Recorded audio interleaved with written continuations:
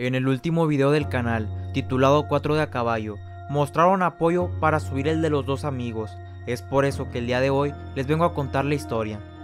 Conocidos por uno de los corridos más populares de México, los dos amigos, Martín y José, eran originarios del municipio de Mapimí Durango. Su historia se ha mantenido presente por generaciones, al ser uno de los corridos más populares. Martín Reyes y José Alvarado se dedicaban al avigliato, el robo de ganado, en las haciendas de la zona durante la época de la Revolución. Por cierto, sobre el avigliato, alguna vez escuché a una persona decir que era incluso más penado que otros delitos, pero desconozco esta información, ya que no soy abogado. Prosigo con la historia. Salvador Luna de Anda, cronista del municipio de Mapimí, señala que se sabe que hay descendientes de José, sin embargo, no se ha podido comprobar, ya que por tratarse de delincuentes no eran bien aceptados en la sociedad y las familias lo negaban. Comentó que lo último que se supo fue que algunos familiares emigraron a Lerdo, pero no se ha podido tener contacto con ellos, es por eso que no hay fotos.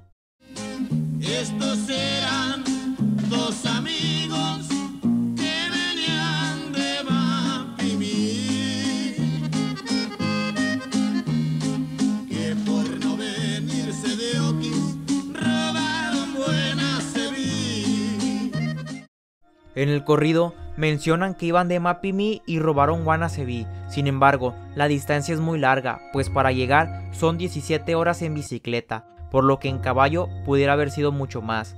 Platicó que lo más probable es que para que rimara se le puso Guanaceví. Sin embargo, se habla que podría haber sido uno de los pueblos aledaños, porque imagínense aventarse todo ese tramo a caballo. Con razón, José andaba amarillo.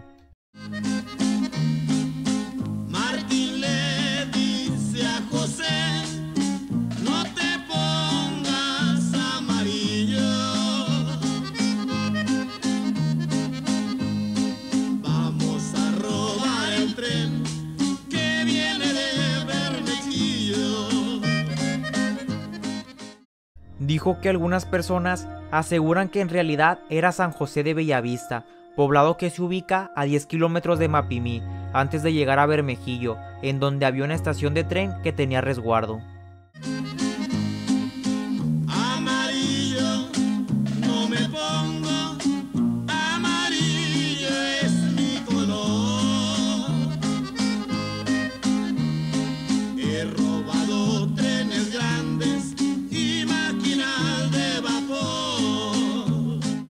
En el poblado de San José se juntaba el ganado y los granos, debido a que en esa área se concentraba lo que se cosechaba a los alrededores, ya que eran tierras muy fértiles. Cuando se soltaban rumores de que había probabilidad de que fuera asaltado el tren por malhechores, era protegido con la seguridad.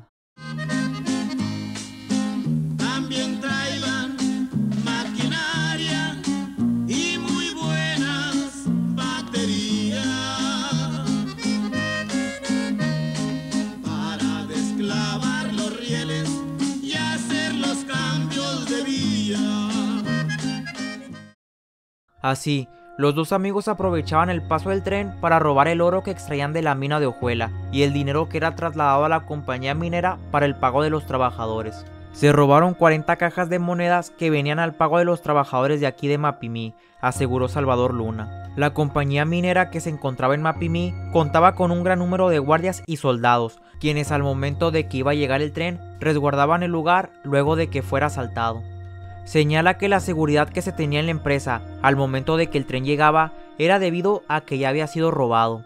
Los dos amigos, dedicados al avigiato, no solo robaban a los alrededores de Mapimí, sino que recorrían otros poblados del estado de Durango, aprovechando el gran número de haciendas que existían y donde sustraían el ganado.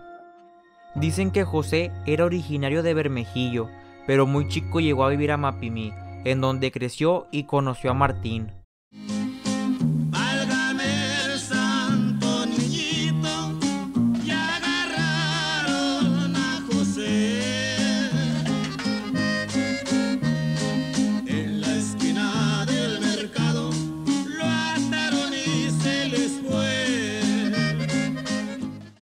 Cuentan que fue en el mercado que existía en la comunidad, en donde los mismos pobladores lograron detener y atar a José. Sin embargo, lograron huir.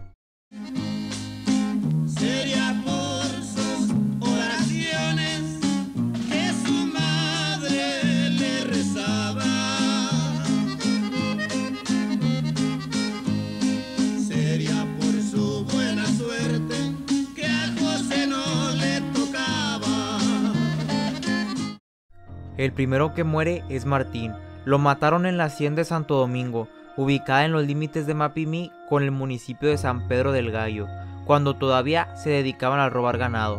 A mí me contaron que lo mataron en un agostadero que estaba colindando con el municipio de Mapimí, con el de Villa Hidalgo, para no batallar, porque le tenían miedo, porque al pasar por un rancho tenía sus cómplices. Andaba en un rancho, y es cuando se da cuenta la acordada, que son los defensas rurales. En esos tiempos, si batallaban, daban problemas o corrían riesgo su integridad, los mataban con la famosa ley fuga. A Martín cuando lo encontraron, lo mataron por la espalda porque le tenían miedo. En Santo Domingo, Martín iba, se paseaba y acudía a los bailes, donde aprovechaba para robar, pues la hacienda que era de españoles tenía una gran cantidad de ganado. A toda la gente de por ahí ya los tenía hartos, porque les robaba mucho ganado a todos los hacendados. Salvador Luna manifiesta que Martín murió joven, sin que se supiera de su familia ni en dónde quedó sepultado, pues en ese tiempo los delincuentes no podían ser sepultados en los campos santos. La iglesia lo prohibía. Martín y José se dedicaban principalmente al robo de ganado, sin embargo, aprovechaban el paso del tren que transportaba el oro de las minas, así como el dinero para el pago de los trabajadores.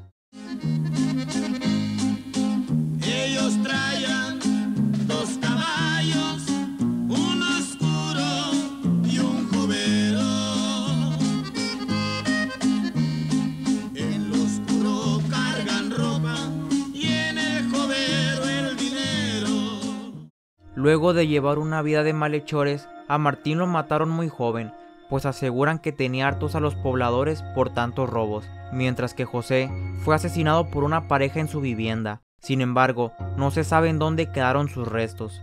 No se sabe en dónde quedaron, ni de sus descendientes, pues en esos tiempos nadie quería decir que eran parientes de maleantes, porque era incómodo, por las venganzas, atropellos, así se acostumbraba en aquellos años, y nadie decía que era su familiar.